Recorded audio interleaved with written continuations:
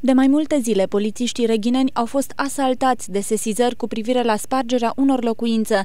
În fiecare caz s-au întreprins cercetările specifice de rigoară pentru identificarea vinovaților și recuperarea prejudiciului. Vorbim de peste 10 proprietăți private călcate de hoți și de un prejudiciu semnificativ constând în aparatură și bani. Deocamdată, oamenii legii au reușit să adune probe pentru a trage la răspundere trei suspecți într-un caz, o persoană majoră care nu este de pe raza municipiului Reghin a fost arestată preventiv pentru 29 de zile pentru o faptă de furt calificat din locuință. Cercetările au arătat că hoții lucrau în grup, studiau fiecare locație și dădeau lovitura la fix. În șapte dosare de spargere de locuințe, verificările au dus spre doi suspecți, dintre care unul minor, cunoscut polițiștilor din alte dosare de furt și de tâlhărie. Ulterior, în alte dosare penale au fost reținute două persoane, dintre care un minor de 17 ani.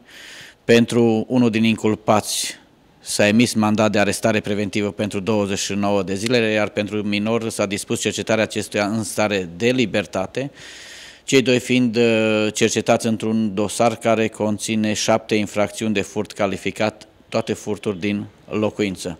Anchetatorii își fac în continuare munca pentru a scoate la iviale și alți suspecți, precum și pentru recuperarea bunurilor furate. Între timp este de așteptat ca în preajma sărbătorilor hoții să-și încerce mai des norocul, de aceea polițiștii ne cer să fim preventivi. Aș uh, reaminti proprietarilor să-și iei minimul, minimum de măsuri de protecție, având în vedere Uh, luna decembrie, specific cu aceste luni și a sărbătorilor de iarnă, când uh, sunt foarte mulți colindători.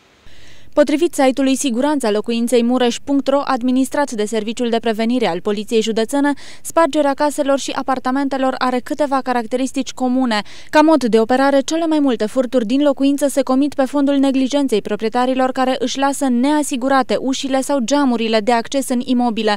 Unele spargeri au loc prin forțarea ușii de acces ori prin ruperea butucului sistemului de închidere al ușii.